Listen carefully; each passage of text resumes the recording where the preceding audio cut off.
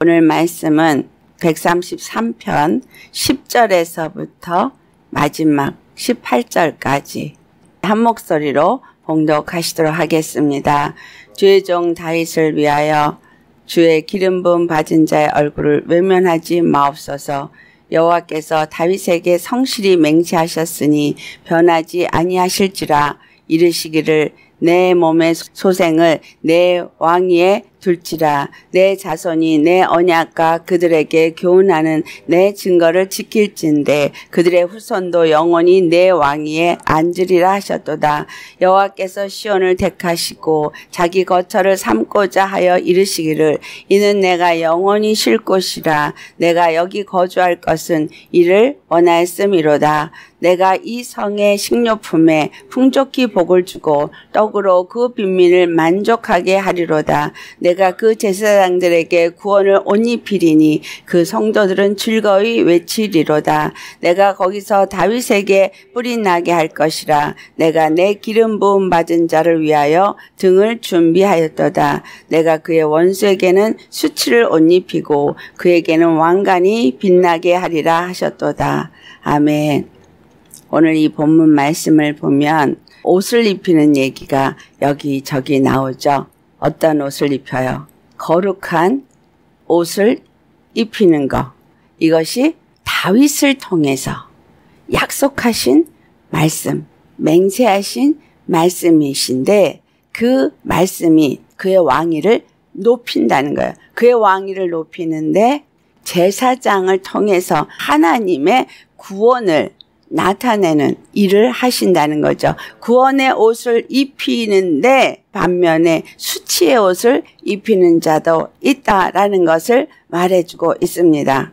주님을 향해서 우리가 그 성산을 향해서 올라갈 때에 내가 무슨 옷을 입은 자가 되느냐 예수 그리스도로 말미암아 약속을 얻었어요.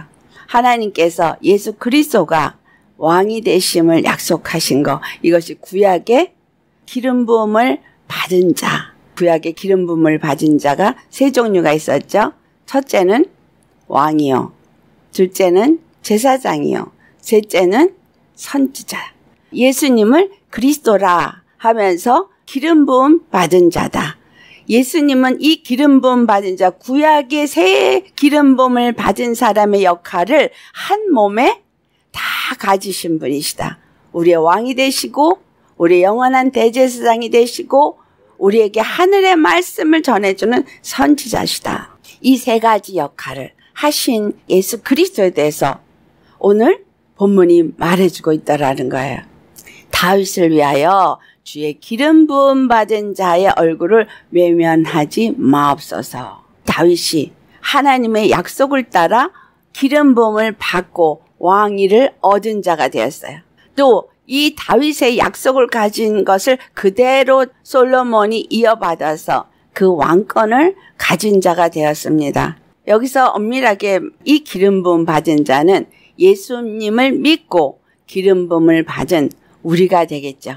그런데 그때 당시의 말로는 바로 다윗의 후사가 되어져서 기름 부음을 받고 왕이 된 자를 말하고 있지만 주님 안에서 다윗이 바라고 원하고 그리고 꼭 있어야만 안위를 얻을 수 있다고 한 성막 그 언약계 이것이 세워지기만 한다고 되어지는 것이 아니라는 거예요. 세워졌으면 거기에 누가 있어야 돼요? 제사장이 있어야 된다는 거예요. 왕이 세워졌어도 백성이 없으면 왕은 왕이 될 수가 없어요. 그래서 어저께 하나님을 만날 곳을 찾았더니 나무 밭에 있었더라 라고 말한 것. 바로 하나님은 이스라엘의 하나님이신데 다윗을 왕위로 세우는 것만을 생각했는데 그 왕으로 세워지는 것이 나라가 아니라 백성이 있어야 나라가 되어진다라는 거. 그래서 하나님은 어디 가운데 계시는 분이냐? 이스라엘 가운데 계시는 하나님이시다. 그러니까 하나님은 보좌에 있는 왕제만 앉아 계신 분이 아니라 믿는 자들 가운데 계시는 하나님이시다라는 거죠. 그런데 이 믿는 자들 이스라엘이라는 사람과 왕이 건세를 가지고 하나님의 위인 건을 가지고 백성을 다스리는 자리에 앉았지만 이 왕과 백성 사이에 온전히 하나님과의 관계를 이루게 하려면 기름 부음을 받은 제사장이 반드시 필요했다라는 거예요. 그래서 예루살렘 성이 세워지고 거기에 법계가 안착이 되어졌지만 중요한 건 거기에 제사장이 세워지는 것을 말해주고 있다라는 거예요. 그래서 아론의 얘기가 나오는 겁니다. 다윗에게 약속하신 하나님. 그 약속이 성취되게 하는 일에 아론에게 거룩한 기름 부음의 옷을 입혔다. 근데 이 아론은 어떤 자예요? 모세 때 있던 사람인 거예요. 그러니까 진정한 아론을 말하는 것이 아니라 제사장을 그 나라 가운데 있게 하시는 거. 그 제사장 레이지파 가운데서 아론의 후손이 있고 아론의 후손을 통해서 기름 부음을 받은 자가 제사를 드릴 수 있게 하는 이 일이 중요하다라는 거예요. 왜냐하면 사사 시대 때 각자 자기네들이 하고 선지자 시대 때 임의대로 제사장을 정하면서 아론의 후손이 대제사장이 되는 것들이 다 무너져 버렸거든요. 그런데 그 다 무너져 버린 것을 다윗의 때에 다시금 아론의 후손 중에서 거룩한 기름 부음을 받은 자가 옷을 입은 것을 말하고 있다라는 거예요. 그와 같은 하나님이 지정한 기름 부음 받은 자가 성전에서 하나님과 이스라엘 백성을 위해서 제사를 드릴 수 있는 그것이 회복되었음을 말하고 있습니다. 400년 암흑시대 때 어떻게 해야 하나님을 만날 수 있을지 그들은 너무나 고통 가운데 있었거든요. 왜? 하나님의 음성이 없었기 때문에. 말씀이 없었기 때문에. 바벨론에 끌려갔을 때도 말씀이 없었기 때문에. 그와 같이 말씀이 없다는 것은 하나님으로부터 어떤 말씀을 받아야 구원함을 받고 죄사함을 받은 것을 알 텐데 말씀이 없었기 때문에 그것이 그들에게는 하나님으로부터 구원을 받을 수 있는 길을 찾지 못해서 나름대로 어떤 율법을 더 강화함으로 바리새인들이 세워지고 서기관들이 세워지고 그것에 또 반하여서 사두개인들이 세워졌다는 거예요. 오늘날 종교가 왜 생겼어요? 종교는 하나님을 찾아가기 위해서 하나님을 알아가기 위해서 만들어진 게 종교예요. 그래서 나름대로 그 안에서 교리가 만들어지고 이것이 맞다 저것이 맞다 사람들이 만들어낸 게 교리예요. 그리고 신학도 역시 사람이 하나님이 어떠한 분인가를 알아가기 위해서 연구하고 연구하고 만들어낸 학문이 신학이에요. 오늘날 우리가 어떤 말씀으로 하나님을 알고 있느냐? 교리로 알고 있느냐? 신학으로 알고 있느냐? 아니면 나름대로 내가 깨달았다는 내가 복음으로 알고 있느냐. 오늘 이 시편에서 주님 우리에게 분명하게 무엇을 말하고 있느냐. 다윗이 원하였던 것처럼 성막이 세워져야 한다는 거. 이스라엘이 이스라엘 나라가 되려면 반드시 성막이 있어야 한다라는 거예요. 그리고 거기에 법계가 있어야 하는 거예요. 그리고 율법으로 세워진 제사장이 있어야 하는 거예요. 대제사장이 1년에 한 번씩 들어가고 그리고 백성들의 죄를 하나님 앞에 가지고 들어갈 때 재물을 가지고 들어갈 때 그 피를 가지고 들어가서 그 죄사함을 받았다는 걸 하나님으로부터 말씀을 받아야만 이것이 되어지도록 율법이 그것을 만들어 놓은 것이죠. 그래서 지금 이 본문이 그것을 말하고 있는 거예요. 다윗에게 약속하신 하나님. 내가 내 왕위를 끝까지 잘 보존하게 하겠다는 거. 그것이 영원히 보존되게 하겠다는 거. 그러나 이 상속되어지는 왕이만 있어가고는 왕이 제대들에 대한 왕이 될 수가 없는 것이 이스라엘 나라의 왕이라는 거예요.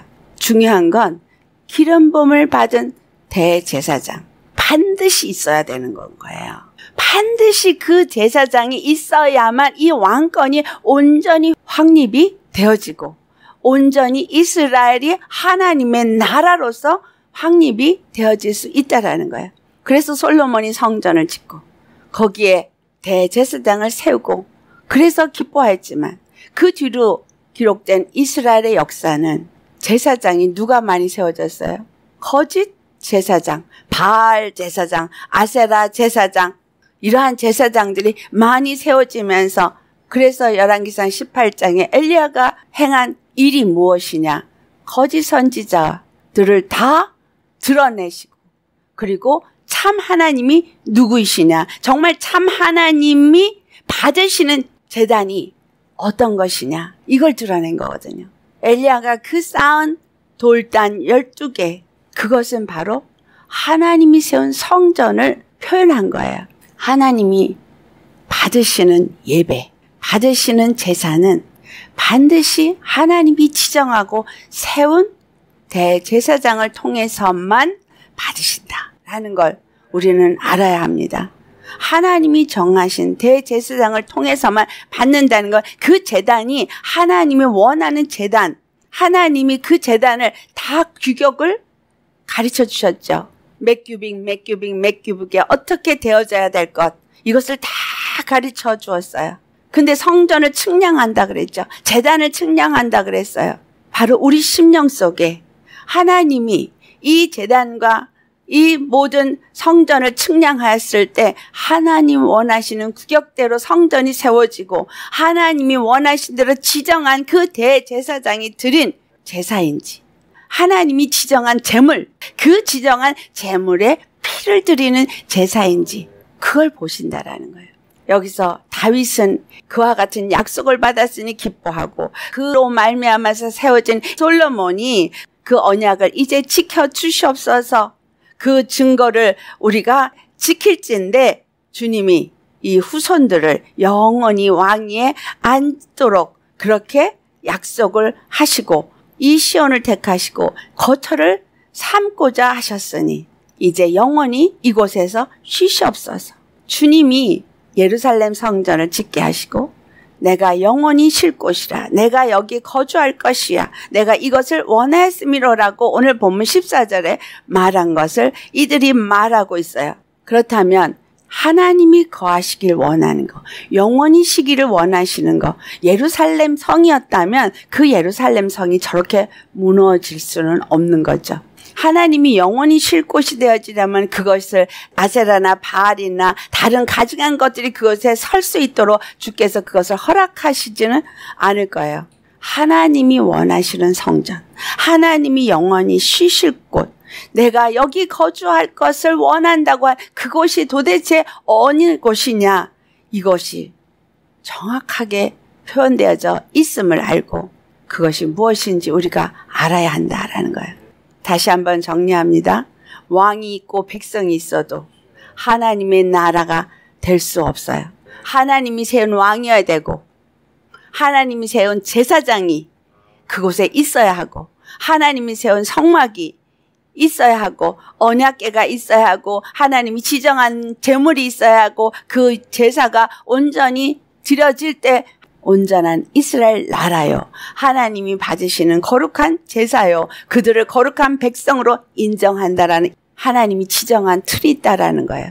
이것을 완성하신 것이 바로 예수 그리스도시다라는 거예요. 예수님이 십자가에서 죽으실 때 바로 죄인 나 사망의 권세자에게 타는 나를 위하여서 그 피를 흘리심으로 나를 죄 없다 의롭다 하셨어요.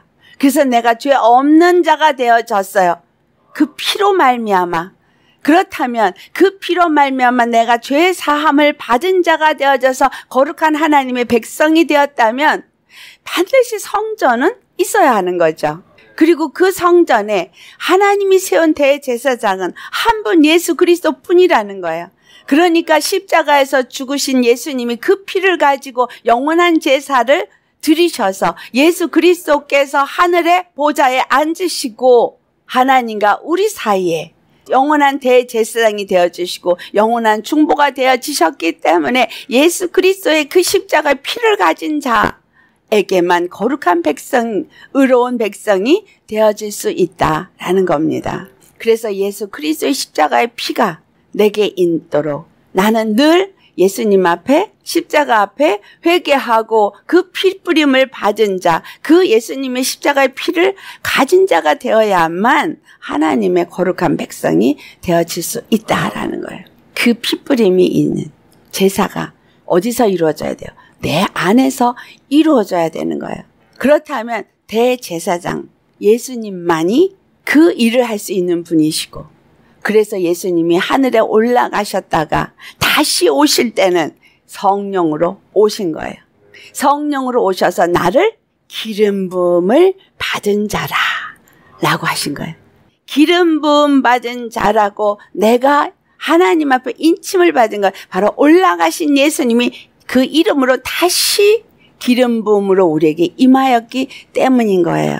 그러니까 그 기름 부음의 이름 예수, 그 기름 부음의 성령, 그 성령으로 드리는 예배만 주님이 받으시는 거예요. 그래서 로마서 12장 1절에 주님이 찾으시는 예배는 바로 우리의 드리는 영적 예배라 라는 말씀. 예수님의 피를 가진 자들이 성령을 받고 드린 예배, 그것만이 하나님이 받으시는 예배다.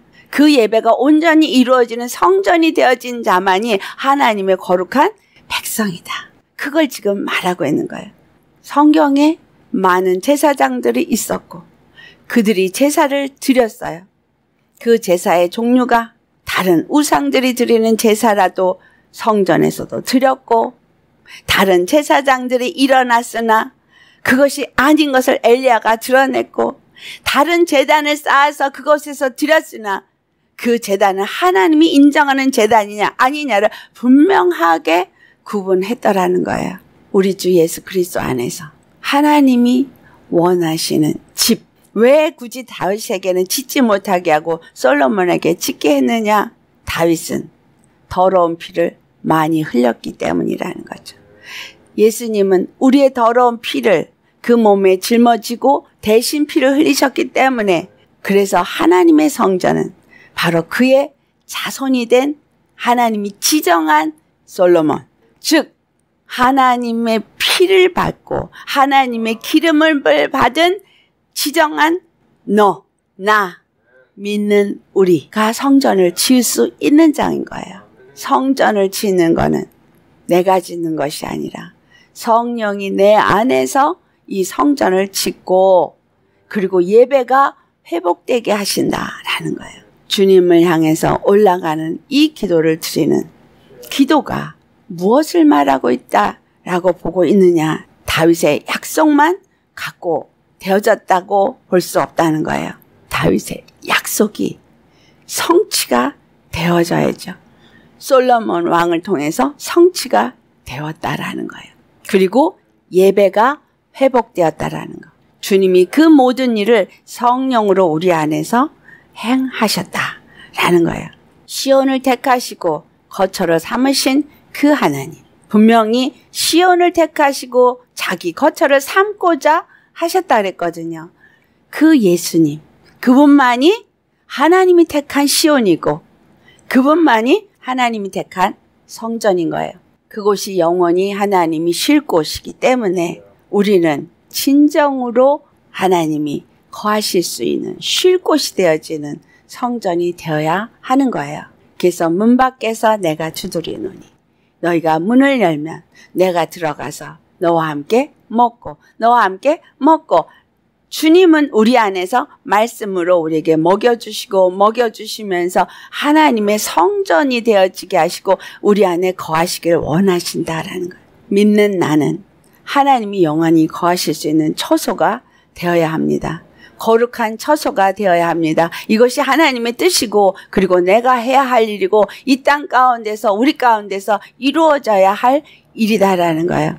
그래서 우리에게 말씀을 주시는 그분 그 예수님이 에베소 1장 21절에 그 모든 권능과 능력을 다 패키지로 묶어서 예수님 발 앞에 무릎 꿇게 했어요. 이 세상뿐이 아니라 다가올 세상 것까지 다 그리고 예수님을 22절에 교회의 머리로 세우셨다. 권세 위에 뛰어난 권세자이심을 나타낸 게 다윗의 왕이의 약속인 거예요. 누구도 대적할 수 없는 왕권을 다윗에게 세우신 거예요. 그것을 솔로몬이 하늘의 지혜를 받아서 성전을 세우고 모든 나라부터 조공을 받고 그 하나님이 준 지혜로 백성을 다스리고 태평 성대를 이루었다는 거죠.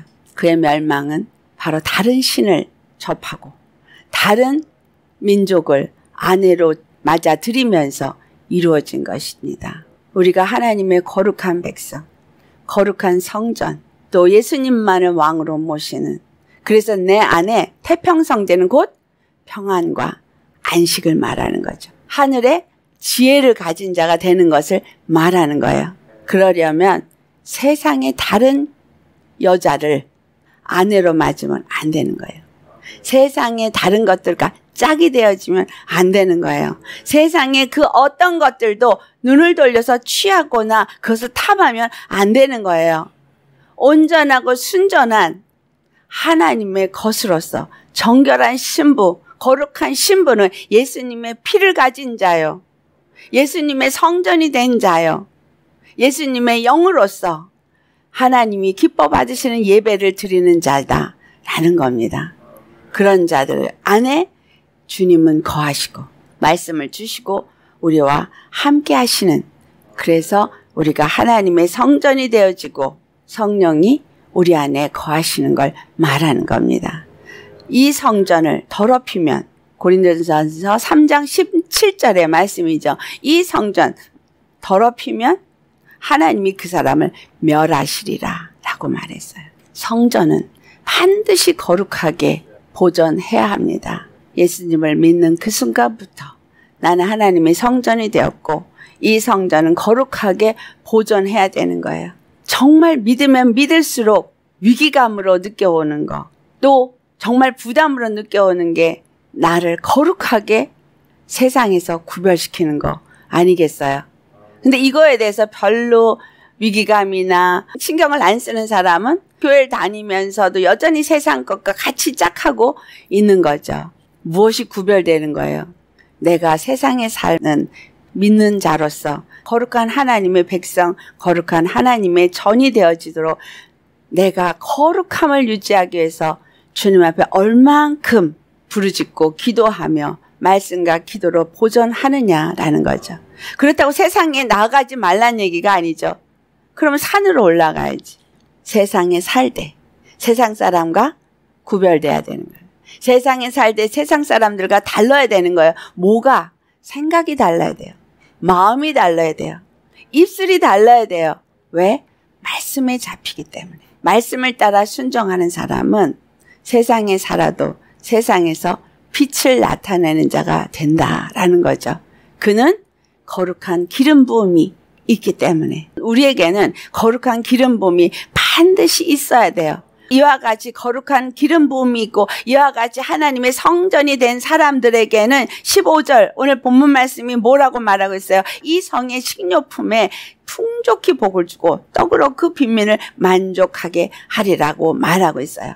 예수님은 죽으시고 부활하셔서 성령을 우리에게 보내 주심으로 우리가 기름 부음을 받은 하나님의 성전이 되게 해 주셨어요.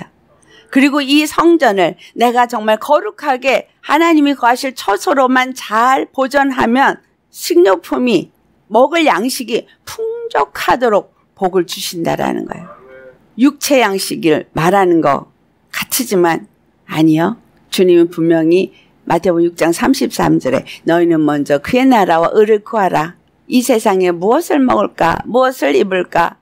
이걸 구하지 말라 그랬어. 이것은 이방인들에게 주는 것이다. 이것은 내가 덤으로 줄 것이라고 말하거든요. 그러니까 여기서 지금 식료품을 풍족히 준다라는 것은 내가 너와 더불어 먹고 너와 더불어 먹으리라고 하신 말씀처럼 우리 심령 속에 예수님이 들어오셔서 자정을 하시면 말씀을 영적인 양식, 썩지 않을 양식을 주시고 주시고 또 주신다라는 거예요. 풍족히 주신다는 거예요. 말씀이 내 안에 풍족히 주어지면 배불러지죠. 우리 안에 화평과 평안이 있어지니 결국은 아, 이 화평과 평안을 말씀이 풍족해질 때에 말씀을 깨달아 알고 그 말씀의 지배를 받을 때 오는 것이구나라는 걸 알 수 있어요. 말씀에 온전히 지배를 받는 자는 그 심령이 배부른 자가 되는 거예요. 그래서 심령이 가난한 자는 천국이 저희 것임이라고 한 그 복을 받는 거죠. 예수님 안에서 우리에게 주시는 참된 양식은 요한복음 6장 55절에 말씀한 것처럼 그분의 살과 참된 음료는 그분의 피라는 거. 그 살, 그 피, 그것이 내 안에 말씀으로 역사되어져서 그 말씀에 의해서 내가 세워지면 예수님의 살과 피가 내 안에 있게 되어지는 거죠. 예수님의 살이 내 살이 되어지고 예수님의 피가 내 피가 되어지면 예수님으로 충만한 자 그리스도의 몸이 되어진다라는 거예요. 그로 인해서 우리 마태복음 6장 56절로부터 58절까지 한번 찾아서 봉독하시겠어요. 요한복음 6장 56절에서 58절까지. 요한복음 6장 56절에서 58절까지 찾으셨으면 우리 같이 봉독하시겠습니다. 내 살을 먹고 내 피를 마시는 자는 내 안에 거하고 나도 그의 안에 거하나니 살아계신 아버지께서 나를 보내심에 내가 아버지로 말미암아 사는 것 같이 나를 먹는 그 사람도 나로 말미암아 살리라. 예수님의 그 살과 피를 먹는 사람은 예수님 안에 거한다고 말했어요. 그리고 예수님도 그의 안에 거한다고 말하고 있죠. 그러니까 제대로 된 성전이 되어지는 거예요. 살아계신 그 하나님 아버지가 예수 그리스도 안에서 함께 거하는 것처럼 그 예수님의 살과 피를 먹는 사람도 예수님으로 말미암아 그 안에 함께하니 성부 성자 성령 하나님이 한 하나님이신 것처럼 우리도 그 안에서 하나가 되어지는 거룩한 성전, 거룩한 기름 부음을 받은 자가 되어진다라는 거예요.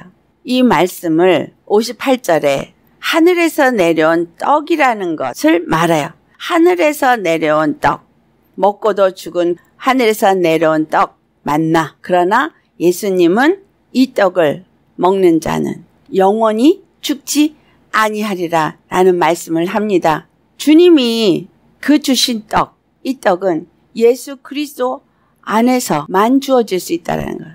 안에서만 주어질 수 있다는 거죠.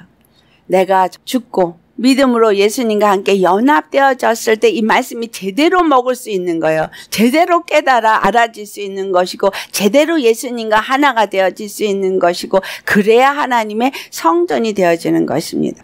16절 말씀에 제사장들에게 구원을 옷 입히리니 그 성도들은 즐거이 외치리로다. 그 성전이 세워지고 제사장들을 세우고 그것에 옷을 입힌 것처럼 우리가 하나님의 성전이 되어졌을 때 우리는 바로 그 제사장이 입는 거룩한 옷을 입게 되어진다라는 거. 이게 갈라디아 3장 27절에 있는 말씀이잖아요. 예수 그리스도와 합하여 연합한 자가 되어져야 그리스도로 옷을 입은 자가 됩니다. 우리가 예수 그리스도 합하여서 세례를 받은 자가 되어야 그리스도로 옷 입은 자가 된 거, 이 제사장에게 입혀주는 구원의 옷, 거룩한 옷, 의의 옷을 입은 자가 되어진다라는 거예요. 예수님 안에 들어가야 거룩한 옷을 입은 자야. 누구만이 제사장의 옷을 입어서 예수님. 그분 안에 들어가서 그분의 몸이 되어야 거룩한 옷을 입은 자다라는 거죠. 그래서 막연하게 예수님을 믿는 척 아니면 믿는다고 잘못 생각하는 거 그것이 아니라 진실로 믿고 예수님의 죽으심을 본받아 연합한 자가 되고 부활하심을 본받아 연합한 자가 돼서 오직 믿음으로 사는 사람, 오직 말씀을 따라 순종하며 내가 그분의 성전이 되어지고자 거룩한 자가 되고자 예수님 앞에 무릎 꿇고 기도하며 회개하고 늘 성령의 인도함을 받는 자가 되어져야 거룩한 제사장의 옷을 입은 그의 몸된 교회요. 하나님이 기뻐하시는 영적 예배를 드릴 수 있는 자다라는 거예요. 성경은 구체적으로 하나님이 받으시는 예배와 받지 아니하는 예배를 나타내고 있음을 우리 기억하셔야 합니다. 제사장이라고 아무리 자기네들이 얘기해도 바알의 제사장, 아스라의 제사장 소용없어요. 아론의 후손만 되어야 하는 거예요. 그것을 드러낸 게 하루 종일 난리를 치고 몸을 긋고 난리를 쳐도 꿈쩍도 안 했어요. 엘리야가 그때 한 날 하나님이 참 하나님 되시고 내가 하나님의 참 종이 됨을 나타내시옵소서. 하나님이 세운 자를 통해서 일하시고 하나님이 받고자 하는 것을 이룰 때에 그곳에서 이루어지는데 열두 돌을 두고 그 다음에 두세야 정도에 들어갈 만한 고랑을 파고 물을 네 항아리씩 세 번을 갖다 볼 때도 열두 물 항아리를 부었어요. 열둘. 뭐예요? 하나님이 택한 열두 지파. 이스라엘을 말하고 있죠. 예수님이 열두 지파를 통일한 다윗 왕과 같은 위를 가지고 오신 분이시다. 그래서 예수 그리스도 안에서 그의 성전의 기둥이 되어질 수 있는 자녀가 되어질 때 하나님의 성전이 될 수 있는 거예요. 거기에는 물을 부어주는 것처럼 예수님의 말씀의 물이 그들에게 부어지고 그 말씀이 하나님이 받으시는 예배가 되어져서 불이 하늘로부터 내려와서 완전히 다 살라서 순간에 취해 가셨어요. 이 열두 지파를 세우고 하나님의 성전을 세우신 그 물은 말씀이 육신이 되어서 이 땅에 오신 우리 주 예수 그리스도이시다라는 거예요. 그 예수 그리스도를 통해서 열두 지파가 세워지고 열두 제자가 세워지고 열두 제자를 통해서 십자가의 복음이 전파되어졌고 그 복음은 오직 십자가 복음뿐이었다라는 거예요. 하나님이 받으시는 예배도 하나님이 받으시는 말씀도 오직 십자가 복음 성령으로 말미암아 주어지는 그 십자가 그리고 주님이 보내주신 성령으로 세워진 그리스도의 제자 그리스도의 사람들 이 사람들만 하나님이 받으시는 사람인 거예요. 그들에게는 구원의 옷을 입혀주고 그 성도들은 즐거이 외치리라. 그들을 통해서 구원이 전파되어지니 그 안에서 성도가 된 사람들이 즐거워 하더라는 거예요. 17절에 내가 거기서 다윗에게 뿌리 나게 할 것이라. 거기서 어디서 바로 그 구원의 옷을 입혀준 제사장에서 다윗의 뿌리 나게 한다. 바로 그 능력이 나타나게 하실 것이다라는 거예요. 누구에게? 다윗에게. 바로 예수 그리스도가 하나님의 능력이 되심을 나타내는데 고린도전서 1장 18절에 바로 십자가는 하나님의 능력이라고 말했죠. 예수님이 능력이 되심을 어디서 나타내요? 십자가에서 나타내요. 십자가에서 부활하시면서 그 능력을 나타냈고 다윗에게 뿌리 나게 할 것이라고 한 그 능력은 바로 구원의 능력, 부활의 능력, 우리에게 새 생명을 주신 능력인 거예요. 다윗의 위가 영원히 그 자자 손손에게 내려가게 하고 다시는 빼앗지 아니하신다 말씀하신 것처럼 우리 주 예수 그리스도 안에서 그 왕위는 영원히 물려 내려가서 그의 자손이 된 자, 성전을 짓는 그러한 자가 되어지면 그에게는 다윗의 뿔과 같은 하나님의 능력이 나타나게 되어져 있다는 거예요. 내가 내 기름 부음 받은 자를 위하여 등을 준비하였도다. 기름 부음을 받은 자를 위해서 등을 준비했다는 건 바로 성령의 기름 부음. 우리 주 예수 그리스도 안에서 성령으로 우리가 하나님의 자녀가 되었고 우리는 예수님의 기름 부음을 부여받은 자가 된 거예요. 그 등을 준비한 것처럼 등, 내가 주님의 등 맞아요? 그러면 거기에 뭐가 있어야 돼요? 기름이 있어야 불을 비치잖아. 말씀의 기름 부음이 내게 있어서 빛이 비추어질 때 내가 세상에 빛이 되어지고 등이 되어져서 세상을 밝힐 수 있는 자가 되어지는 것이에요. 다윗에게 능력의 뿔을 주고 그로 인해서 기름 부음을 받은 자에게 등을 준비해서 이 세상에 모든 가난한 자에게 복음을 전파케 하시는 것. 빛을 비추시는 일. 우리 주 예수 그리스도께서 그 일을 하셨다라는 거예요. 누가복음 4장 18절과 19절. 예수님께서 이 땅에 오셔서 하신 일. 자, 우리 찾아서 봉독하시겠습니다.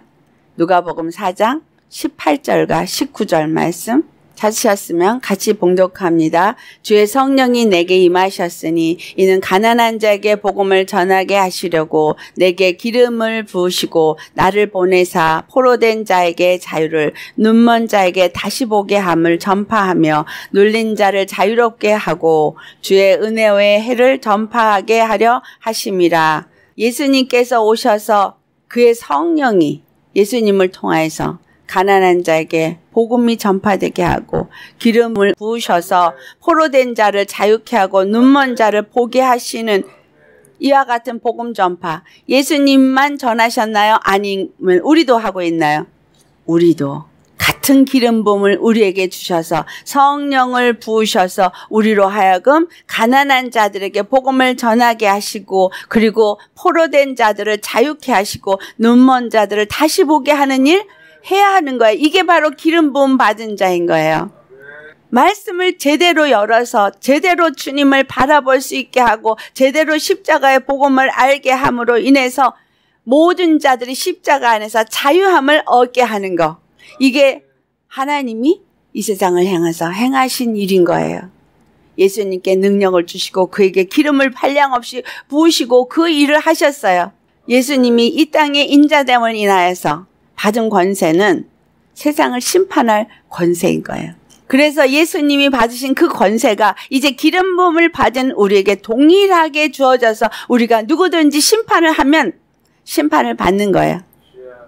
그래서 묶으면 묶어지고 풀면 풀어지고 얽매인 자들에게 예수의 이름으로 선포하면 그 선포한 예수의 이름 때문에 그 일이 일어나게 되어지는 거.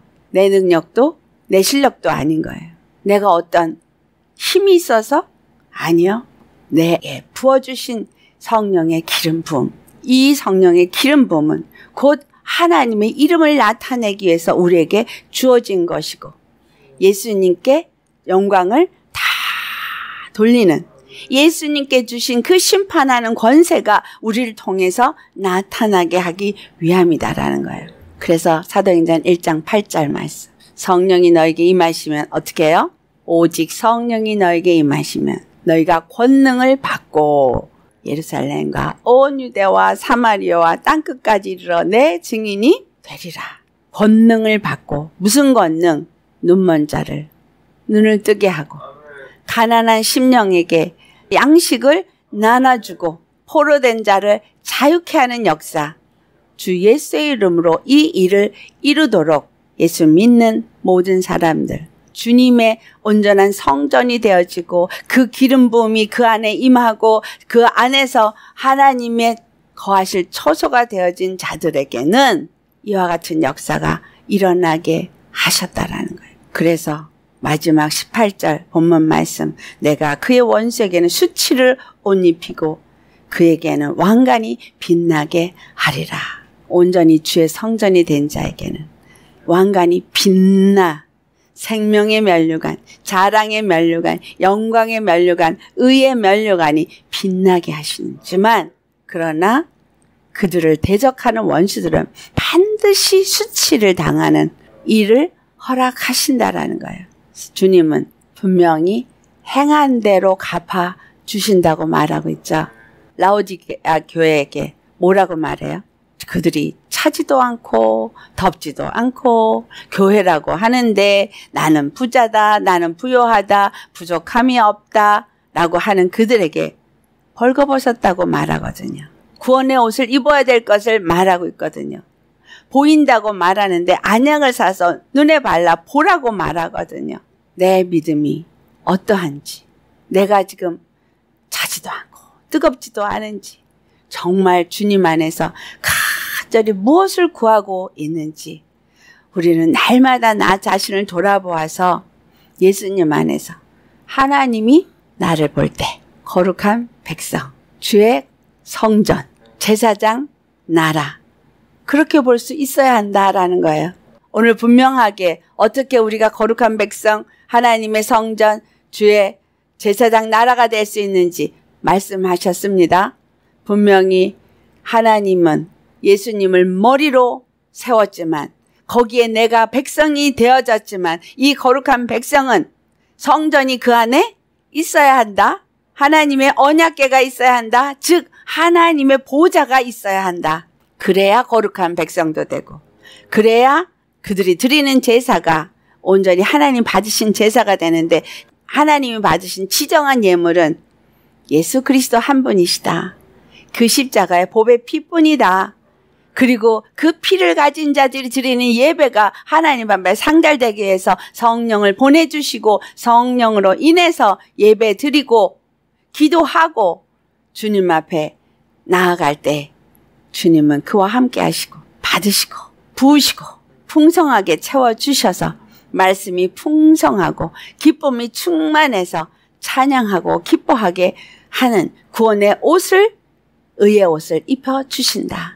그러나 그렇지 않은 자들에겐 수치의 옷을 입혀 주시고 예수님의 성전으로 그와 같이 이 땅을 잘 살아 주의 성전으로 지어진 자에게는 영광의 멸류가 아닌 왕관, 생명의 멸류가 아닌 왕관, 왜 우리가 왕이 되어지기 때문에 왕관을 씌워 주신다라고 말씀합니다. 여러분, 이 땅에서 내 믿음을 어떻게 세울 것이냐? 어떤 믿음을 가져야 할 것이냐? 어떤 예배를 드려야 할 것이냐? 그 모든 것이 여러분에 달렸어요. 내 믿음이 정말 예수의 피를 가진 믿음. 예수님의 성전이 되어지는 거룩한 심령. 그리고 그 성령 안에서 하나님과 교통되어져서 온전한 성전으로 세워질 때 내가 제사장 나라가 되어지고 하나님의 거룩한 백성이 되어진다는 거 잊지 마시기를 바랍니다. 여러분은 하나님이 제사장 나라로 세우기를 원하시기 때문에 예수님을 보내셨습니다. 예수님만이 우리의 대제사장이시고 예수님만이 하나님이 받으시는 거룩한 지정한 예물이고 예수님만이 그 피만이 하나님과 나 사이를 영원한 죄사함을 주는 제물의 피요. 예수님을 통하여서 주시는 말씀 이 십자가 복음만이 나로 온전한 그리스도의 거룩한 기름 부음을 받은 백성 제사장이 되게 하는 것이다. 그래서 여러분 거룩한 성전, 거룩한 백성, 거룩한 제사장 나라가 되시기를 그리스도의 몸 된 교회가 되시기를 예수로 축원합니다. 기도하시겠습니다. 할렐루야 거룩하신 아버지 우리가 예수님의 거룩한 성전으로 세워져야 할 것인지 정확하게 또 말씀을 주시니 감사합니다. 얼마나 거룩해야 할지 그 예수님의 보혈이 아니고는 그 십자가 복음이 아니곤 다른 길이 없음을 그리고 주님께서 부활하셔서 우리에게 보내신 그 성령으로 말미암지 않고는 우리가 온전히 하나님 앞에 예배를 드릴 수도 없음을 가르쳐 주심에 감사합니다. 이 거룩한 기름 부음을 우리 주 예수 그리스도를 통해서 우리에게 주시고 우리로 하여금 그 풍성함을 누리는 거룩한 백성 거룩한 성전이 되게 하여 주시는 애 감사하고 감사합니다. 진실로 이 성전을 더럽히며 하나님께서 멸하신다 하셨사오니 아버지여 우리가 예수님 안에서 거룩한 자가 되어지고 거룩한 성전이 되어지고 거룩한 하나님의 성령이 영원히 거하실 수 있는 그러한 전으로 세울 수 있게 하여 주시옵소서.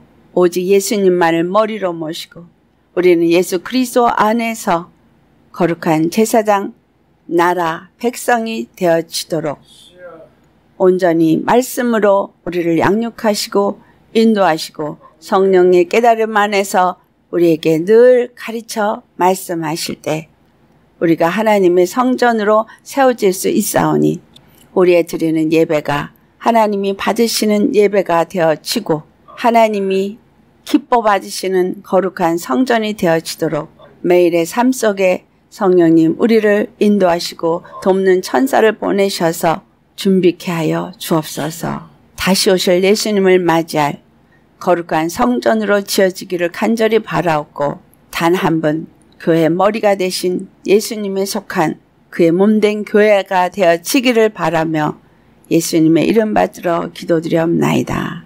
아멘. 할렐루야.